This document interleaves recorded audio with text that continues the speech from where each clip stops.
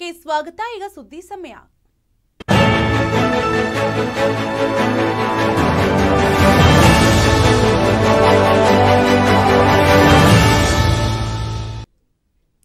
ಮುಸುಕಿನ ಜೋಳದ ಒಳಗೆ ಅಕ್ರಮವಾಗಿ ಮದ್ಯ ಸಂಗ್ರಹಿಸ್ತಾ ಇದ್ದ ಆರೋಪಿಯನ್ನ ಬಂಧಿಸಿ ಇಪ್ಪತ್ತಾರು ಸಾವಿರ ರೂಪಾಯಿ ಮೌಲ್ಯದ ವಿವಿಧ ಕಂಪನಿಗಳ ಮದ್ಯವನ್ನ ವಶಪಡಿಸಿಕೊಂಡಿರುವ ಘಟನೆ ಚಾಮರಾಜನಗರ ಜಿಲ್ಲೆಯ ಗುಂಡ್ಲುಪೇಟೆ ತಾಲೂಕಿನ ಮದ್ಯನ ಹುಂಡಿಯಲ್ಲಿ ಸಂಭವಿಸಿದೆ. ಅಂದಹಾಗೆ ಮಧ್ಯನ ಹುಂಡಿಯ ಗೌಡರಕಟ್ಟೆ ಹತ್ತಿರ ಮುಸುಕಿನ ಜೋಳದ ಹಸಿ ಕಡ್ಡಿಯ ಒಳಗೆ ಮದ್ಯ ಸಂಗ್ರಹಿಸಿರುವ ಬಗ್ಗೆ ಖಚಿತ ಮಾಹಿತಿ ಮೇರೆಗೆ ಗುಂಡ್ಲುಪೇಟೆ ಪೊಲೀಸರು ದಾಳಿಯನ್ನ ನಡೆಸಿದ್ದಾರೆ.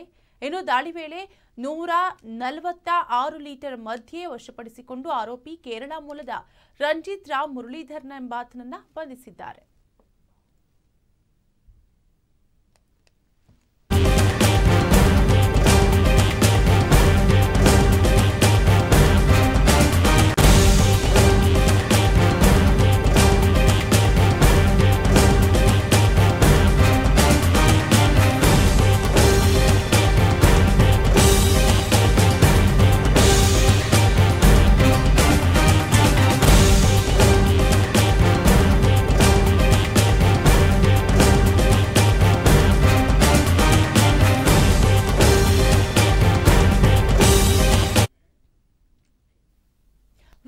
ಸ್ಪರ್ಶಿಸಿ ಅನೇಕ ಜಾನುವಾರುಗಳು ಸಾವನ್ನಪ್ಪಿರುವ ಘಟನೆ ತೆಲಂಗಾಣದ ಮೆಹಬೂಬಾದ್ ಜಿಲ್ಲೆಯಲ್ಲಿ ಸಂಭವಿಸಿದೆ. ಮೆಹಬೂಬ್ ಮೆಹಬೂಬಾದ್ ಜಿಲ್ಲೆಯ ನರಸಿಂಹುಲು ಪೇಟಾ ಮಂಡಲದ ಚಾರ್ಲಾ ಚಂದ್ರು ತಾಂಡಾದಲ್ಲಿ ಮೊನ್ನೆ ಸುರಿದ ಭಾರೀ ಮಳೆಯಿಂದಾಗಿ ವಿದ್ಯುತ್ ಸಂಪರ್ಕ ಕಡಿತಗೊಳಿಸಲಾಗಿತ್ತು. ಆದರೆ ವಿದ್ಯುತ್ ಸಂಪರ್ಕ ಮರಳಿಸಿರುವುದು ತಿಳಿಯದೆ ಜನರು ಹೊಲಗಳಿಗೆ ಮೇವಿಗಾಗಿ ತಮ್ಮ ಜಾನುವಾರುಗಳನ್ನು ಬಿಟ್ಟಿದ್ದಾರೆ. ಇನ್ನು ಹುಲ್ಲು ಮೇಯುವ ವೇಳೆ ಕರೆಂಟ್ ವೈರ್ ತಾಗಿದ ಪರಿಣಾಮ ಸ್ಥಳದಲ್ಲಿ ಐದು ಎತ್ತುಗಳು, ಒಂದು ಹಸು ಮತ್ತು ಒಂದು ಎಮ್ಮೆ ಸಾವನ್ನಪ್ಪಿವೆ. ಜೀವನಾಧಾರದ ಭಾಗವಾಗಿದ್ದ ಮೂಕ ಜೀವಿಗಳನ್ನ ಕಳೆದುಕೊಂಡಿರುವ ರೈತರು ಸ್ಥಳಕ್ಕೆ ಬಂದು ಕಣ್ಣೀರು ಸುರಿಸ್ತಾ ಇದ್ದಾರೆ.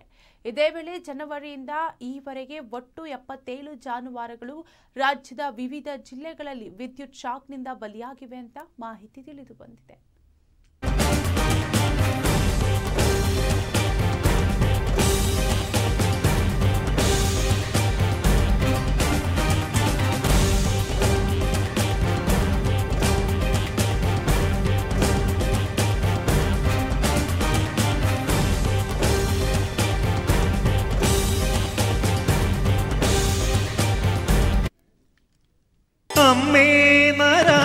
ಉಚಿತ ಭವಿಷ್ಯ, ಖಚಿತ ಪರಿಹಾರ.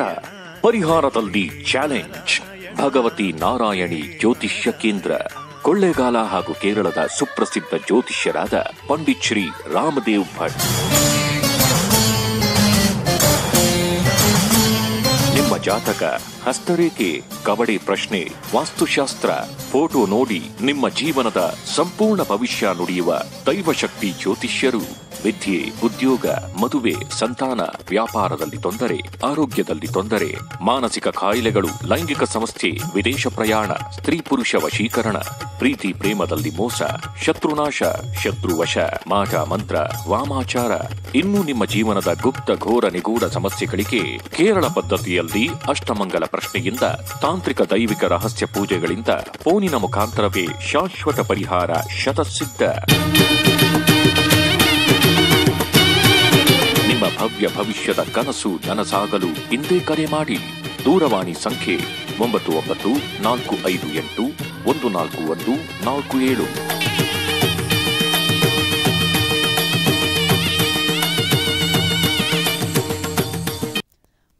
ಸೋಂಕು ತಗಲಿ ಇಡೀ ಕುಟುಂಬ ಕೋವಿಡ್ ಕೇರ್ ಸೆಂಟರ್ನಲ್ಲಿದ್ದರೆ ಇತ್ತ ವಿದ್ಯುತ್ ಅವಘಡದಿಂದ ಕೊರೋನಾ ಸೋಂಕಿತ ಕುಟುಂಬದವರ ಮನೆಗೆ ಬೆಂಕಿ ತಗುಲಿ, ಹೊತ್ತಿ ಉರಿದಿತ್ತು ಇಡೀ ಮನೆ ಸುಟ್ಟು ಕರಕಲಾಗಿರುವ ಘಟನೆ ಜಿಲ್ಲೆಯ ಪಾಂಡವಪುರ ತಾಲೂಕಿನ ಲಕ್ಷ್ಮೀ ಸಾಗರ ಗ್ರಾಮದಲ್ಲಿ ಜರುಗಿದೆ. ಅಂದಹಾಗೆ ಲಕ್ಷ್ಮೀ ಸಾಗರ ಗ್ರಾಮದ ಪ್ರಕಾಶ್ ಅವರ ಮನೆ ವಿದ್ಯುತ್ ಅವಘಡದಿಂದ ಸುಟ್ಟು ಭಸ್ಮವಾಗಿದೆ. ಪ್ರಕಾಶ್ ಮತ್ತು ಕುಟುಂಬದವರಿಗೆ ಕೊರೋನಾ ಸೋಂಕು ತಗುಲಿದ ಕಾರಣ ಇಡೀ ಕುಟುಂಬ ಕೋವಿಡ್ ಕೇರ್ ಸೆಂಟರ್ನಲ್ಲಿ ಇತ್ತು. ಹೀಗಾಗಿ ಯಾವುದೇ ಪ್ರಾಣಹಾನಿ ಸಂಭವಿಸಿಲ್ಲ ಆದರೆ ಮನೆ ಸಂಪೂರ್ಣವಾಗಿ ಸುಟ್ಟು ಕರಕಲಾಗಿದೆ.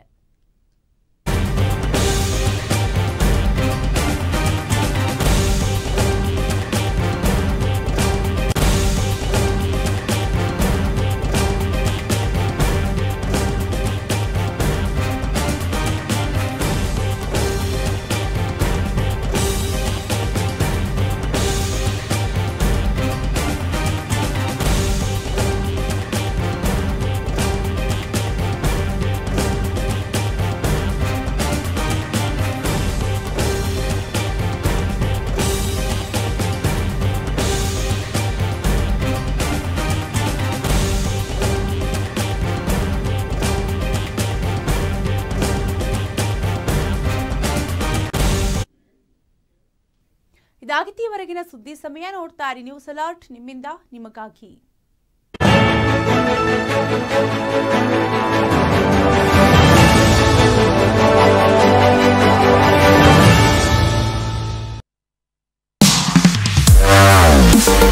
And you're watching. News alert Facebook ಅಲ್ಲಿ Like ಮಾಡಿ. ಯೂಟ್ಯೂಬ್ ಅಲ್ಲಿ. ಸಬ್ಸ್ಕ್ರೈಬ್ ಮಾಡಿ ಶೇರ್ ಮಾಡಿ ಲೈಕ್ ಮಾಡಿ ಕಮೆಂಟ್ ಮಾಡಿ. ಪ್ಲೇ ಸ್ಟೋರಲ್ಲಿ ನ ಡೌನ್ಲೋಡ್ ಮಾಡಿ. ಎಂಜಾಯ್ ಮಾಡಿ. ಎಲ್ರಿಗೂ ಒಳ್ಳೆಯದಾಗಲಿ ಜೈ ಹಿಂದ್ ಜೈ ಭುವನೇಶ್ವರಿ.